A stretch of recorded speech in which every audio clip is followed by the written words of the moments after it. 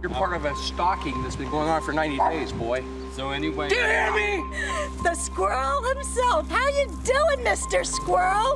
Scientology is one of the world's most mysterious and controversial organizations. Now, it could be facing one of its biggest challenges yet, as Marty Rathbun, a senior member of the church, has escaped. I'm the anvil that can break all hammers. He lifts the lid on the inner secrets of Scientology, as the tactics he once helped devise are now used against him. Come on, Marty. Got anything to say? His actions clearly show that he is anti-Scientology. Get that out of here. He's perceived as a danger to Scientology, not just for his insider knowledge, but because he's become a rallying point for other dissidents around the world. That little rat is trapped in that house. Get off the cart, Paul. Can he survive and set up an independent version of Scientology? I'm telling you something right now. Shut As the weight of the church comes down on him and his wife, What if they kidnap me or something like that to get him to stop what he's doing? This is the thing with these guys. They just keep cranking it up. It's like all things Marty! or will he be destroyed by the very organization he helped build? Did you ever see me hurt anybody?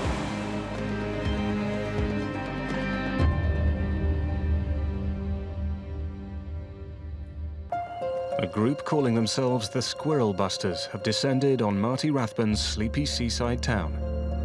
They tell locals they are producing a documentary expose that will reveal who Marty really is. The whole basis of Scientology is that you follow L. Ron Hubbard's processes to the letter.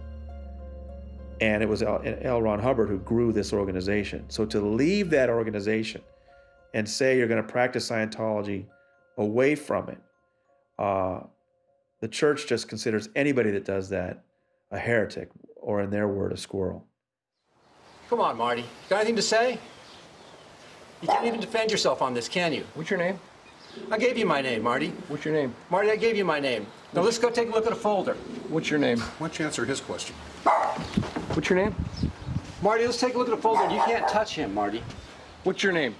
Come on, Marty. Go get me your meter. You're squirreling, and we would like to What's see your that name, bring to an please?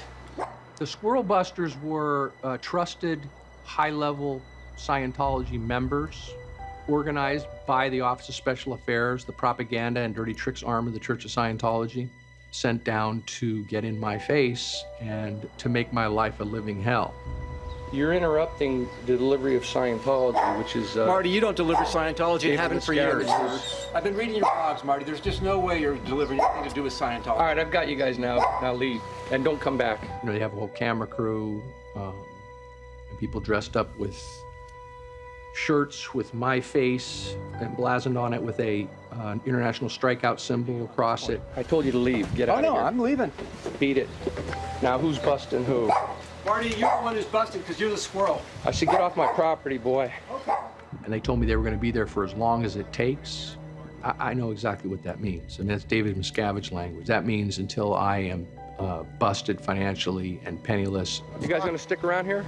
Yeah, Marty, we're here for weeks, weeks and weeks. As long as it takes. And then after that day, it was just every day for almost 200 days. They were just always in our face. Five cameras. There's one. There's two on the head. There's three with Ralph. There's four with Bart. We've and just there's discovered that five Marty on Bart's head. He's got. A, they were telling people they were making a documentary as a cover, but they would go out there and just say the most salacious things about myself and my wife. Marty has no regard for Mosey as a woman. We know that from the type of sex toys in his collection.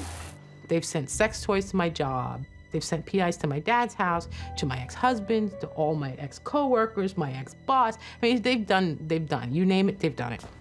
Fuck off. Get off the cart, punk.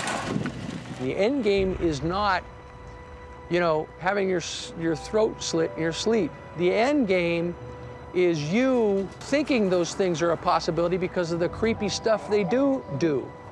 And then you get so tired of living with that fear that you fold up your tent and you go home. And what's it going to take to make you go home, Marty? Take? There's nothing they can do. They can't do anything.